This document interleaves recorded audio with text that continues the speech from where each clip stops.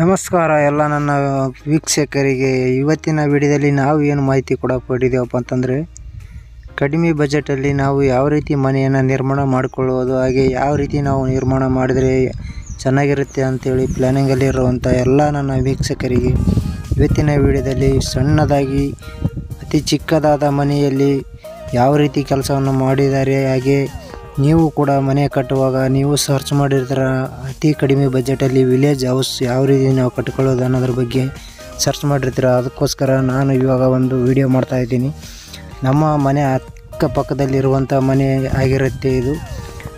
ಸಣ್ಣ ಪ್ರಮಾಣದಲ್ಲಿ ಯಾವ ರೀತಿ ನಿರ್ಮಾಣ ಮಾಡ್ಕೊಂಡಿರ್ಬೋದು ಅನ್ನೋದ್ರ ಬಗ್ಗೆ ಈ ವಿಡಿಯೋ ಮಾಡಿದ್ದೀನಿ. ಈ ವಿಡಿಯೋ ಏನಾದರೂ ನಿಮಗೆ ಇಷ್ಟ ಆಗಿತ್ತು ಅಂತಂದರೆ ಈಗಲೇ ನಮ್ಮ ಚಾನಲ್ಗೆ ಸಬ್ಸ್ಕ್ರೈಬ್ ಆಗಿ ಹಾಗೆ ಮುಂದಿನ ದಿನಗಳಲ್ಲಿ ಮಾಡುವಂಥ ಎಲ್ಲ ವಿಡಿಯೋ ನೋಟಿಫಿಕೇಷನ್ ನಿಮಗೆ ಮೊದಲು ಬಂದು ತಲುಪುತ್ತೆ ಅಂತ ಹೇಳೋಕೆ ಇಷ್ಟಪಡ್ತೀನಿ. ಓಕೆ ಫ್ರೆಂಡ್ಸ್ ಮೊದಲನೇದಾಗಿ ಏನಪ್ಪ ಅಂತಂದರೆ ಈ ಮನೆಯ ಸೈಜ್ ಬಂದ್ಬಿಟ್ಟು ಇಪ್ಪತ್ತೈದಕ್ಕೆ ಹದಿನೇಳು ಇದೆ. ಈ ಸೈಜಲ್ಲಿ ಬಂದ್ಬಿಟ್ಟು ಒಂದು ಬೆಡ್ರೂಮ್ ಹಾಗೆ ಒಂದು ಕಿಚನ್ ಹಾಲ್ ಪೂಜೆ ರೂಮು ಎಲ್ಲನೂ ಇದೆ ಈ ಮನೆಯಲ್ಲಿ ನೋಡ್ಬೋದು ನೀವು. ಆದರೆ ಇದು ಹಳ್ಳಿ ಮನೆ ಆಗಿರೋದ್ರಿಂದ ಇದರಲ್ಲಿ ಸ್ಟೋರೇಜ್ ರೂಮ್ ಅಂತ ಮಾಡಿಕೊಂಡಿಲ್ಲ. ಹಾಗಾಗಿ ಈ ಅಟ್ಟದ ಪದ್ಧತಿಯಲ್ಲಿ ಈ ಈ ಮನೆಯನ್ನು ನಿರ್ಮಾಣ ಮಾಡ್ಕೊಂಡಿದ್ದಾರೆ. ನೀವು ನೋಡ್ಬೋದು ಸ್ಟೋರೇಜ್ ಆಗಿ ಇದರಲ್ಲಿ ನಾವು ಎಲ್ಲ ಇರುವಂಥ ಸಾಮಾನುಗಳನ್ನು ಇದರಲ್ಲಿ ಮೇಲುಗಡೆ ಇಡ್ಬೋದು ಅಂತ ಹೇಳೋಕ್ಕೆ ಇಷ್ಟಪಡ್ತೀನಿ.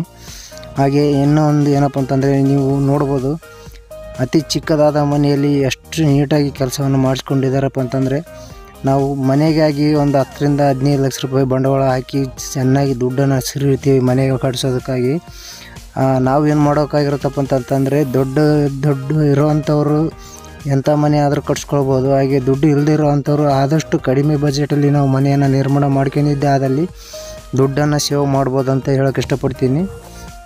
ನೀವು ಇಲ್ಲಿ ನೋಡ್ತಾ ಇರ್ಬೋದು ಈ ಮನೆ ಎಷ್ಟು ನೀಟಾಗಿ ಮಾಡಿದ್ದಾರೆ ಅನ್ನೋದನ್ನು. ಇಲ್ಲಿ ಈ ವರ್ಕ್ಶಾಟ್ ಆಗಿರ್ಬೋದು, ಹಾಗೆ ಗ್ಯಾಸಲ್ಲಿ ಅಡುಗೆ ಮಾಡೋದಕ್ಕೆ ಆಗಿರ್ಬೋದು ಕಿಚನ್ ರೂಮಲ್ಲಿ ಎರಡೂ ಕೂಡ ಇದೆ. ಹಾಗೆ ಪೂಜೆ ರೂಮ್ ಇದೆ. ತುಂಬ ನೀಟಾಗಿ ಕೆಲಸವನ್ನು ಮಾಡಿದ್ದಾರೆ ಅಂತ ಹೇಳೋಕ್ಕೆ ಇಷ್ಟಪಡ್ತೀನಿ. ಯಾಕಂತಂದರೆ ನಾನು ಕೊಣ್ಣಾರೆ ನೋಡಿರುವಂಥ ಮನೆ ಇದು ನಮ್ಮ ಅಕ್ಕಪಕ್ಕದಲ್ಲಿರುವಂಥ ಮನೆ ಅಂತ ಹೇಳೋಕ್ಕೆ ಇಷ್ಟಪಡ್ತೀನಿ.